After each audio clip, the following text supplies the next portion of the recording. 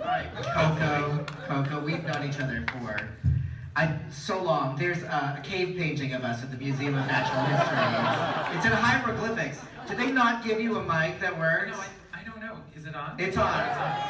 All right. I want you to tell the story about how you established a foothold in the cabaret world because it's an extraordinary story, Orig- uh, a superhero origin story about how you started.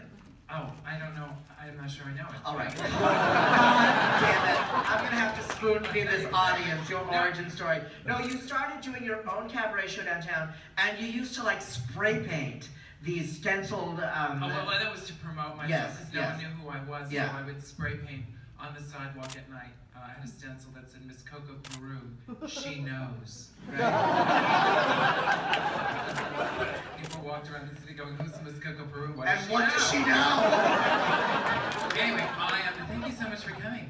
Uh, um, anyway, um, no, so m- my comedy is never, I never really thought of myself as a comic. It was more monologues, and it was born out of a rage. And um, I was angry uh, at what was happening with AIDS Yes. and, and with gay rights. And I had seen funny gay males, these three comics, and I, there were no gay comics back then.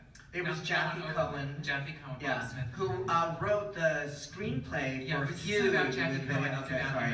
right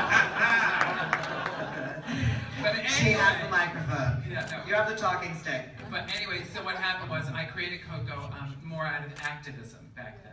And then I didn't think it was going to be the thing that took off for me. I thought Right. it'd just be something that I would do for a little while. Yeah. But it took off because no one was doing what I did back then, which was not pretending to be a woman. I was Right. talking about being a little boy and telling autobiographical stories. Mhm. So, and then I kind of got swept up into the comic world. Um, just, I don't know how that happened, but Right. How soon that happened? Because this folds into our next um, question. When did you know that this was going to be your living? When this, was going to be your bread and butter, your industry? Uh, ju- I just it, like jobs just kept coming. So I really early on I didn't have to. I never had to waiter again. That was amazing for me not to have to be. I was the worst waiter in the world. So um, Where did you work? Is this was in New York. yeah, I worked at. Uh, uh, I was. The, I really was the worst waiter. I was the worst waiter too. My, my comments were always, "She's hilarious. Fire her." I used, to, I used to request the smoking section because they drank and took longer. anyway, um, that's how I got into comedy. And that's how it started for you, and you started to get the outside gigs and everything. Yeah, Yeah. then- yeah. People started seeing my shows, and then they wanted to hire me for the other things. Like I did the show last night with you, it was fabulous.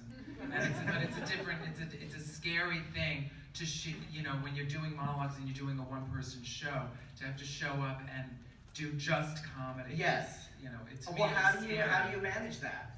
I mean, how, how different is that into edibles? How, how different is that from your regular It's storytelling different, but gigs? it's I, you know it, I, I, this is what I say in one of my shows. Um, it, it terrifies me, Yeah. and I just but that everything in my life scares me, and and I just keep pushing through it, pushing through the fear, Absolutely. and that's I think where the magic happens.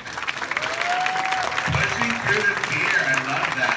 Angela, are you Sitting in next to you, and believe me, I'm pushing through. Push